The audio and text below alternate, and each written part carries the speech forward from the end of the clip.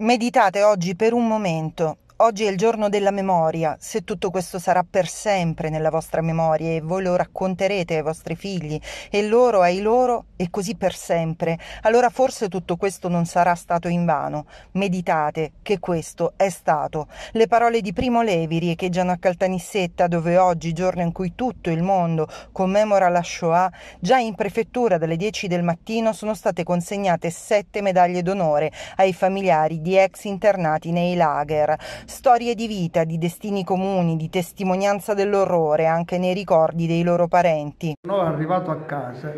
che mia, mia sorella maggiore, che era, aveva sei anni, sei anni così, vide mio padre,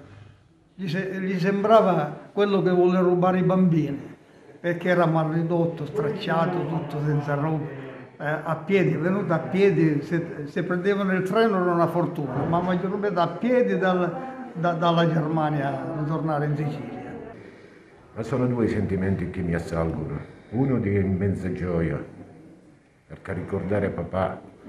a 16 anni dalla morte e a 70 anni da quello che ha,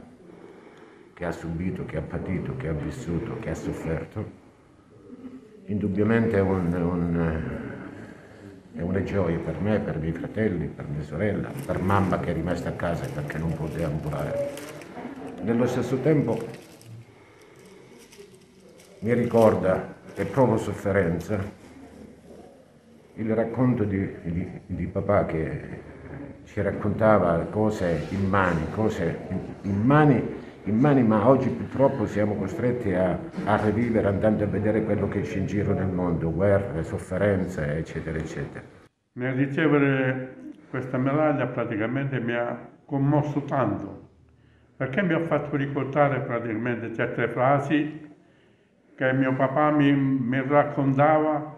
i sacrifici cioè, che ha fatto e la fortuna che ha avuto di ritornare, perché lui non ci credeva, non ci credeva perché è arrivato a pesare 37 kg, non, non riusciva nemmeno a camminare. E con la sua buona volontà è stato fortunato mediante un altro tedesco perché l'ha rimproverato e ha apprezzato praticamente che lui aveva voglia di lavorare e l'hanno inserito in una fabbrica di legname, così si è rimesso e ha avuto la fortuna praticamente di tornare a casa Così, alla presenza del prefetto Chiara Armenia, delle alte cariche civili, militari e religiose, del presidente territoriale Lions e del presidente territoriale Ampi, sono state poi apposte sei pietre d'inciampo, tre nello spazio antistante l'ingresso del consorzio universitario e tre a Santa Lucia, in memoria di deportati nei campi di concentramento durante la seconda guerra mondiale, su iniziativa della Lions Club di Caltanissetta e del Museo Diocesano. La memoria è alla base della nostra conoscenza e soprattutto gli errori del passato ci devono, devono, ci devono far capire cosa non dobbiamo fare nel futuro. Per cui questo sicuramente noi lo vogliamo trasmettere ai ragazzi e le pietre d'inciampo che partono da un artista tedesco